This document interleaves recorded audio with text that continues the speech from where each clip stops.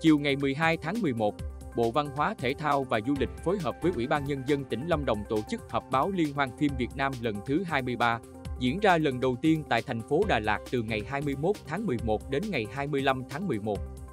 Liên hoan phim Việt Nam lần thứ 23 là sự kiện văn hóa nghệ thuật quốc gia nhằm tôn vinh các tác phẩm điện ảnh và các nghệ sĩ trong hoạt động sáng tác điện ảnh.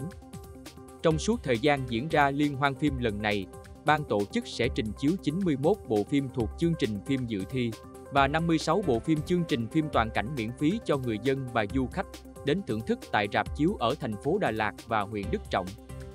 Gồm các bộ phim Đất rừng phương Nam, Nhà bà nữ, Em và Trịnh, Người vợ cuối cùng, Kẻ ẩn danh, Cho tàn trực trở, Con nhót mót chồng. Ngoài trình chiếu miễn phí, các bộ phim tham gia liên hoan phim lần này sẽ được trình chiếu lưu động tại các địa phương, vùng sâu vùng xa, trên địa bàn tỉnh Lâm Đồng. Dự kiến trong một tuần diễn ra sự kiện, Đà Lạt sẽ đón khoảng 190.000 lượt du khách đến tham quan, thưởng thức các tác phẩm dự thi.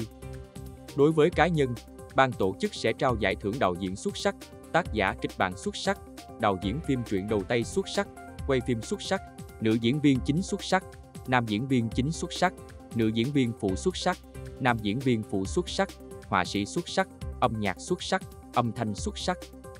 Lễ khai mạc sẽ diễn ra tại quảng trường Lâm Viên, thành phố Đà Lạt vào tối ngày 21 tháng 11 và được truyền hình trực tiếp trên đài truyền hình Việt Nam.